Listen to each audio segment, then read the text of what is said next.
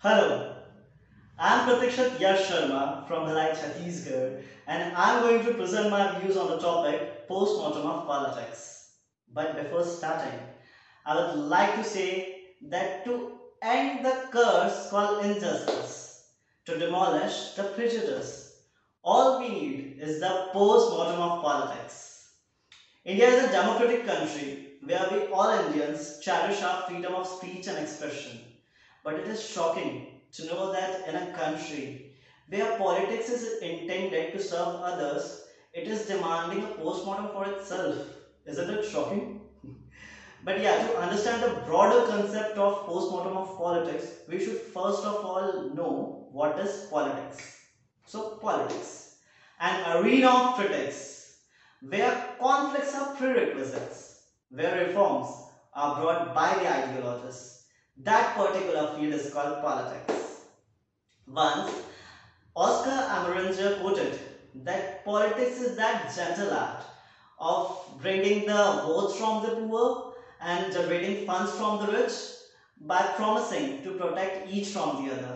I firmly believe that yes, that is the politics.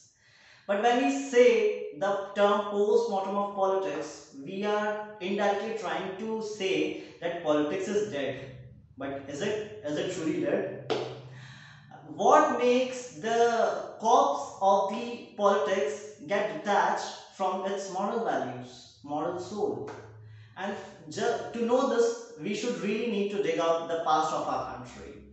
Uh, India has a enriched political history and we have a very remarkable political leaders in our history such as Mahatma Gandhi, such as Subhash Chandra Bose, such as Vallabhbhai Patel and many more leaders like them who made the independence of India possible.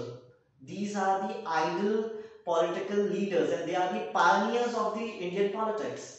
But if we look at the current scenario, I think the definition as well as the situation of politics has completely reformed. And there is, uh, I personally believe that there is a huge declination in the moral values of the politics. And that is the why that is why the post-mortem of politics plays a crucial role. When we talk about the current issue, such as the uh, sad demise of Sushant Singh Rajput, we can clearly see that how an impactful post-mortem of politics bestows a lot of unsaid truths and it reveals a lot of things. It, it is a post-mortem of politics which makes his death a matter of a national debate. So this is why post-mortem politics is very crucial. But the question arises that who does this post-mortem of politics? Is it me or is it you? Who does it? Who has the authority to do this?